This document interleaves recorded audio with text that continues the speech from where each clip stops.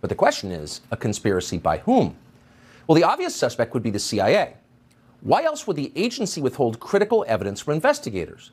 Is there a benign explanation for that, for maintaining this level of secrecy for this many years? Not that we're aware of. And it is illegal. In 1992, Congress passed the President John F. Kennedy Assassination Records Collection Act. And that act mandated full disclosure of all documents by 2017, 54 years after JFK was killed.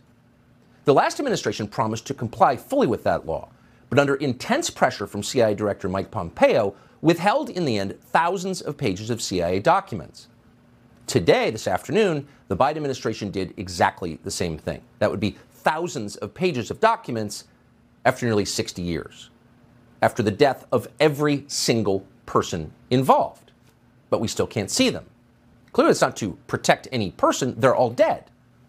It's to protect an institution. But why?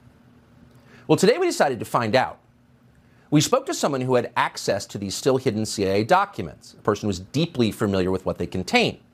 We asked this person directly Did the CIA have a hand in the murder of John F. Kennedy, an American president? And here's the reply we received verbatim quote, The answer is yes. I believe they were involved. It's a whole different country from what we thought it was. It's all fake.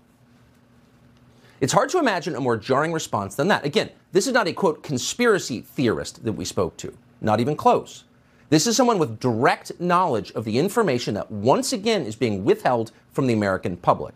And the answer we received was unequivocal. Yes, the CIA was involved in the assassination.